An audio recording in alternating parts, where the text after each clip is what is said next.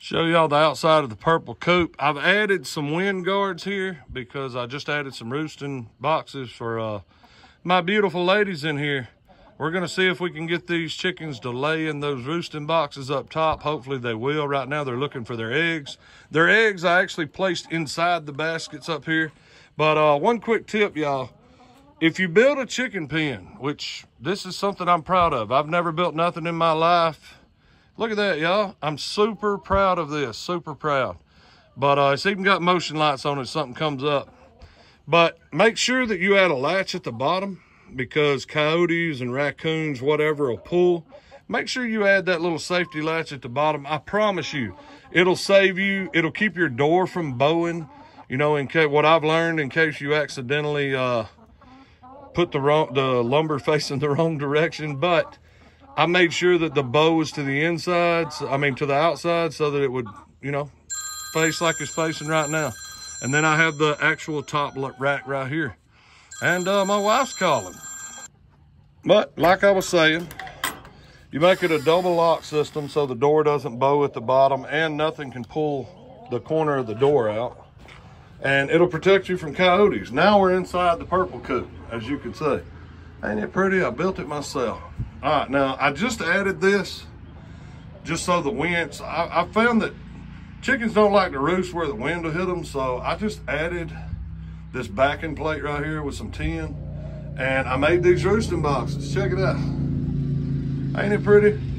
Some old drink carriers. And uh, I put their eggs in it. So hopefully they'll know where to start laying their eggs so that they'll stop laying them down here. That would be awesome. I also raised their roosting bar and their uh, racking, I mean, their ladder deal.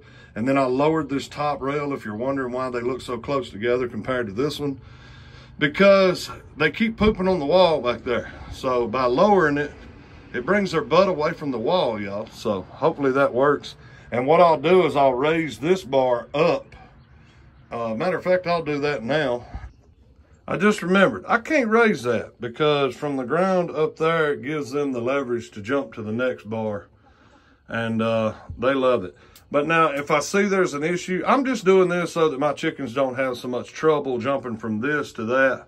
So I'm to leave it like it is. If I notice one day that they just fly up there, then, uh, you know, I'll move it. But until then, they have these two roosting bars, which are perfect. And uh, then they have their nesting boxes, y'all. Super proud of this idea and this deal right here. Thank you, Brandon, for the uh, drink crates. As you see, brand new wood chips, brand new. Oh yeah, he's good to go for a little bit. And I'm so thankful for that tree crew that brought me those chips right there, as y'all see. And uh, hopefully they'll bring a whole lot more. And then I've had people call and tell me, or send me some DMs and be like, hey, on my other platforms, hey, uh, I raised 20 trees and only five survived. I raised 10 chickens and two died. And uh, I just, I'm just terrible at being a gardener and a farmer. Think about what you've learned already. I mean, it's unreal to just think about you kept five trees alive. There's people on this planet that can't keep any tree alive. You kept five trees alive and you kept eight chickens alive. Hey, that's amazing. And uh, I mean, this nobody's perfect. Oh, of course, there's going to be a ton of people on here that know everything under the sun. I'm not a genius. I'm definitely not a professional. But you just take what you learn from that experience and you just keep going. And hey, be proud of your, you know, if you raise 20 trees and only five survive, be, be proud of those five. You raise 10 chickens, but two died. Be proud of those eight.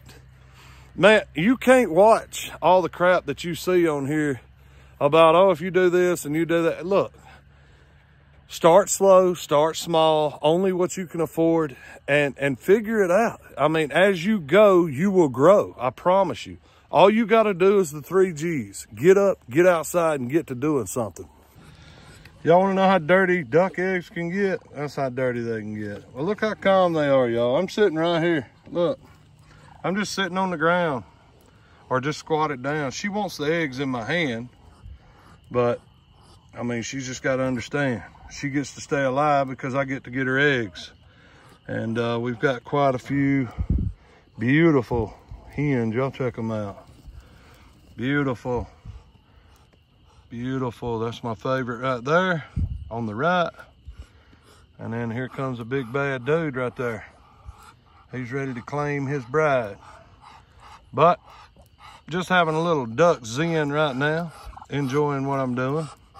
Y'all see that tail wagging? He don't he don't like for me to touch him, but he's happy that I'm in here. And just so y'all know, there was no pond here when I left. Check this out.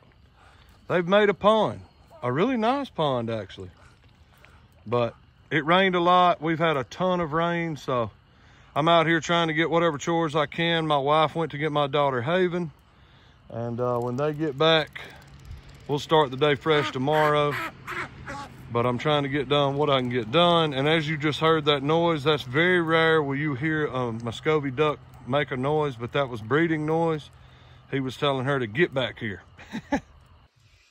Besides what my wife got before I got home from the road, this is my haul this afternoon. Only from the ducks, the Maline, well, actually there is four Maline eggs that I don't have in here. I'm using those, or three Maline eggs. I busted one.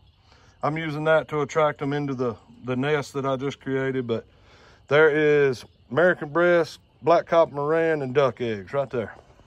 All right, everybody. I just now noticed that I forgot to put an ending on this video. So I'm adding it now. I hope y'all enjoyed this video. I really appreciate you watching. If you haven't done so so far, please click like and subscribe. I wish I'd have said this earlier in the video. I may I may text it in there. But uh, until next time, I'm your boy Maniac. Thank you for watching Maniac Nation, y'all. We out.